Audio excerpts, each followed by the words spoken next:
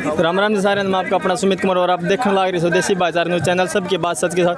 साथियों आज हम हाल फ़िलहाल में मौजूद है भिवानी कोर्ट के आगे और यहाँ पर रोनाथ को मांगों को यानी रोनाथ गाँव को न्याय दिलवाने के लिए महापंचायत का आयोजन किया गया और उसी को धरने को उनको साथ में आए हैं रवि आज़ाद जी जो किसान नेता। नमस्कार भाई जी। जी नमस्कार आपके सभी दर्शकों को राम राम।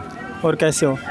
सबसे बस पहले देख ही रहे हो भाई यहाँ शहीद वेद प्रकाश का शव रखा हुआ है और यहाँ पे जो है आठ दिन से उनके परिवार के गाँव के सब खापों के लोग बैठे हैं महापंचायत में और बहुत गम गमगीन माहौल है और सरकार और प्रशासन अपनी जिद पे अड़ा हुआ है तो हम किस माहौल में हो सकते हैं समझा जा सकता है। आप क्या मानते हैं आठ दिन हो गया है शहादत को और अभी तक ना ही डेड बॉडी मिली है और ना ही कोई भी एक मांग को पूरा किया गया है? क्या मानते हैं आज भी जो अंग्रेज़ों की नीति थी या ये सरकार उसी नीति पे चलने का काम कर रही है। देखिए जिस गाँव ने देश की आज़ादी के लिए अपना सब कुछ कुर्बान कर दिया आज वो गाँव गुलाम है। और हम सब लोग लंबे समय से इस गाँव को हक और न्याय दिलाने के लिए एकजुट होकर के लड़ रहे हैं। अगस्त 2022 में भी आंदोलन चला उस समय भी वार्ता के नाम पे धोखा किया गया। 2023 में भी यहाँ पे मई से धरना वेद प्रकाश जी की अध्यक्षता में चल रहा था। आज भी एक जान, आठ दिन पहले उन्होंने ले ली सुसाइड नोट मेरे हाथ में है कि वेद प्रकाश जी को डीसी ने डीआरओ ने और यहाँ के कानूनगों ने प्रताड़ित किया। उन्होंने मजबूर होकर के अपनी जीवन लीला समाप्त की। आठ दिन बीत गए। आठ दिन के बाद भी गाँव की मांगों पे बात नहीं हो रही है। मुकदमा दर्ज नहीं हो रहा है क्योंकि वो डीसी है।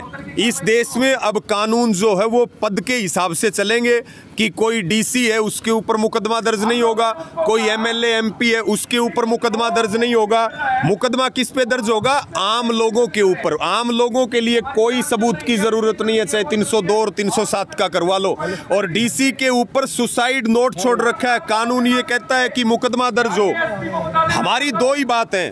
या तो गाँव की शहीद परिवार की सारी मांग मान ली जाए तो हम अपनी एफआईआर की बात से पीछे हटे।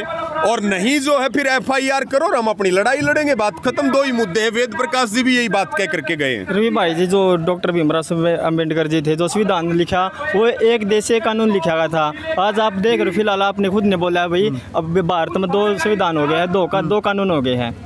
क्या कहना चाहेंगे इसके बारे में? क्या संविधान के साथ छेड़छाड़ है या क्या कहना चाहेंगे? नहीं, पिछले नौ साल से देश संविधान से नहीं चल रहा, आरएसएस की किताब से चल रहा है। ये लड़ाई संविधान को और लोकतंत्र को बचाने की है, गाँव को न्याय दिलाने की है। निश्चित तौर पे गाँव को उसका हक और शहीद परिवार को न्याय देना पड़ेगा, नहीं तो गंभीर अंजाम भुगतना पड़ेगा यहाँ के प्रशासन को और हरियाणा की सरकार को। अगर जल्द से जल्द आपकी मांगों को नहीं माना जाएगा तो अगला कदम क्या रह सकता है? अभी कमेटी की मीटिंग है। कमेटी की मीटिंग में कोई कड़ा फैसला सर्वसम्मति से कमेटी लेगी और उसको वो पूरी पंचायत की तरफ़ से कमेटी गठित की गई है जिसको अगला निर्णय लेने की पावर और शक्ति पंचायती रूप से दी गई है। आपने बोला डेड बॉडी अब तक परिवार को नहीं मिला उसका अंतिम संस्कार अब तक नहीं हो चुका है। तो इतने दिन हो चुके हैं क्या प्रशासन की तरफ़ से क्या कोई सरकार की तरफ़ से जो डेड बॉडी अब तक नहीं मिली है तो क्या कहना चाहेंगे? जल्द से जल्द उसका अंतिम संस्कार करना चाहिए या नहीं करना चाहिए?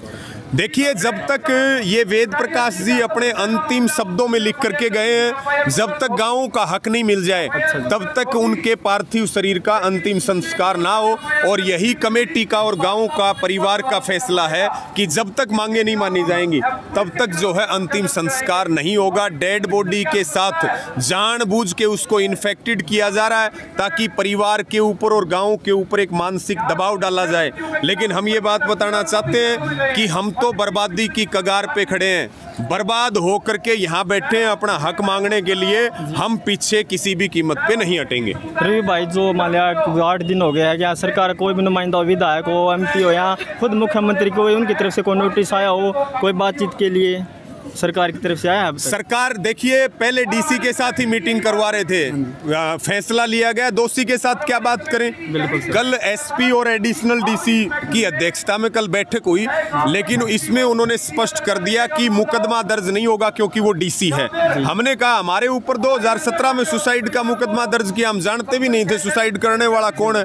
पॉलिटिकल रूप से हमारा नाम दिया गया। आपकी ज़िले की पुलिस डेढ़ साल तक हमारा हमारे को मानसिक रूप से प्रताड़ित बात करती रही। तब मुकदमा दर्ज हो गया क्योंकि हम डीसी नहीं है, हम मंत्री एमएलए एमपी नहीं है और अब डीसी के ऊपर इसलिए मुकदमा दर्ज नहीं हो रहा कि वो आईएएस है।